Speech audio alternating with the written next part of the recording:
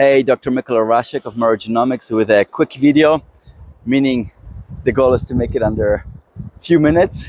And one of the more common misconceptions that I see based on YouTube comments to my videos is that mRNAs are not natural.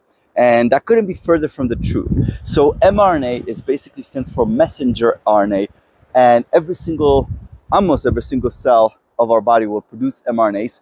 Basically, any cell in our body that has nucleus inside, which obviously has DNA, will produce mRNAs. So it's completely normal. mRNAs are the blueprints blueprints to produce uh, proteins. And you can think of proteins as basically robots that perform all of the work of the cell. So you need mRNAs all the time.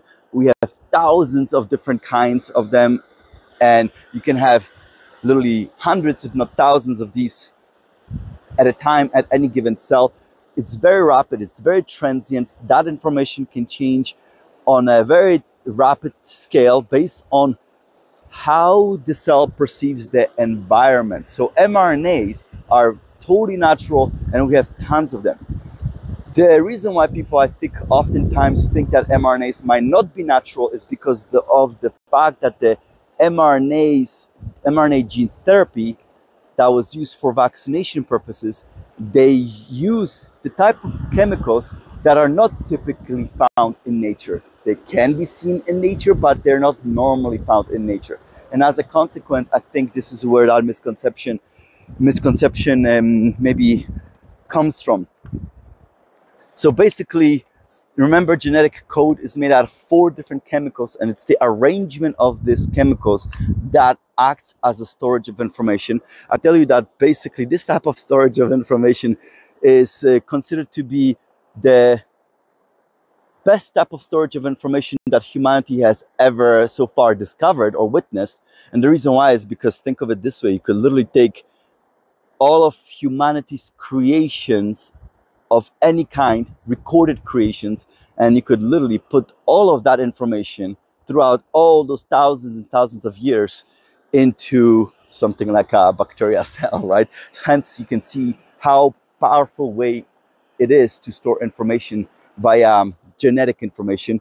And mRNAs are basically blueprints. So they're copies of DNA fragments, and then that mRNA is used inside the cell not inside the nucleus, but inside the cell. So mRNA will exit the nucleus and then inside the cell, it will be used as a blueprint to create the product of interest. Now, when it comes to the mRNA vaccines, they use type of chemicals that were chemically altered so they would help mRNA last longer. The purpose of that was, and also to prevent it from being recognized by the immune system. The reason why this was done is to ensure that when mRNAs from the vaccines enter our cells, then the cell has plenty of time to recognize this, use it to produce spike protein and produce plenty of spike protein.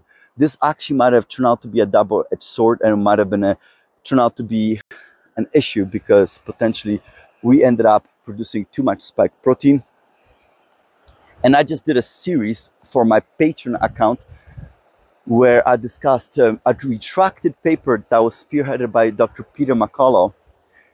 And one of the references that was used in that paper showcased that vac vaccinal mRNA was isolated from human hearts three days after vaccination. So apparently it can last really, really long time, way longer than anticipated, way longer than one would ever suspect naturally. So that's basically, but overall, just so you know, mRNAs are very, very natural, very normal part of our human biology. Okay, that's it for now. Those are the quick videos and I'll see you guys next time. Bye.